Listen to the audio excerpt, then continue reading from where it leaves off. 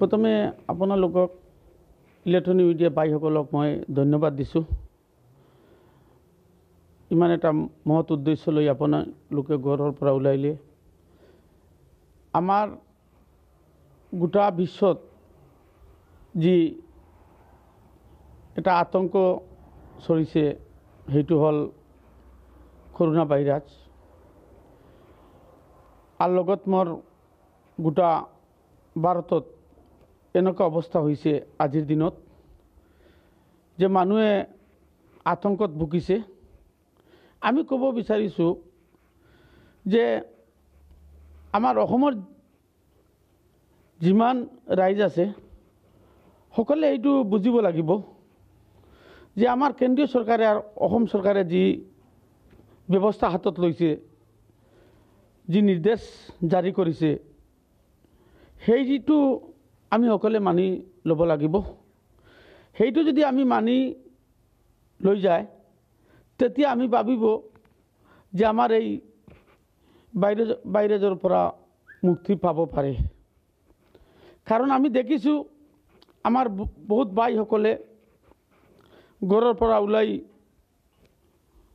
ৰ'দত ওলাইছে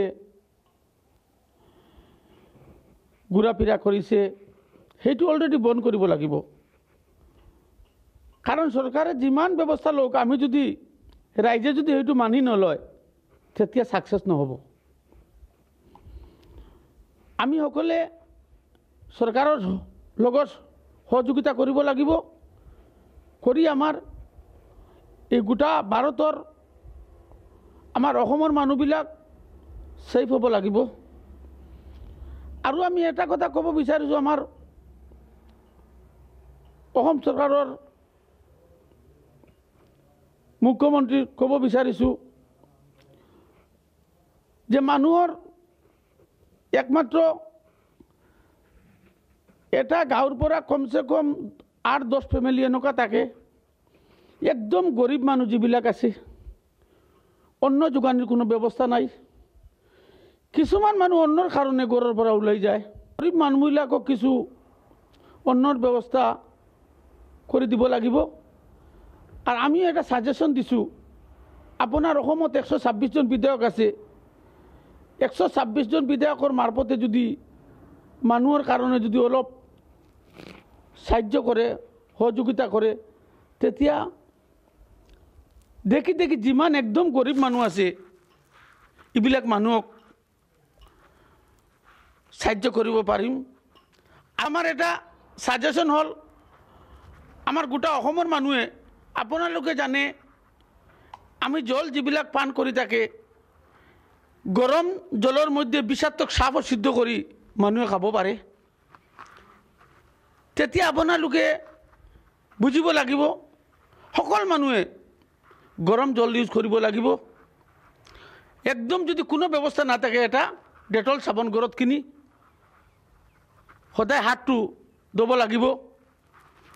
খাবাৰ পানী গৰম পানী লাগিব। গোচল কৰাৰ টাইমত গৰম পানী দি গোচল কৰিলে আৰু ভাল। তেতিয়া আমাৰ আমাৰ দেহত কোনো বীজাণু আহিব নোৱাৰে। আৰু আমি চৰকাৰৰ নীতি নিৰ্দেশ মানি চলিব লাগিব। সকলোৱে মিলি গোটা অসমৰ মানুহে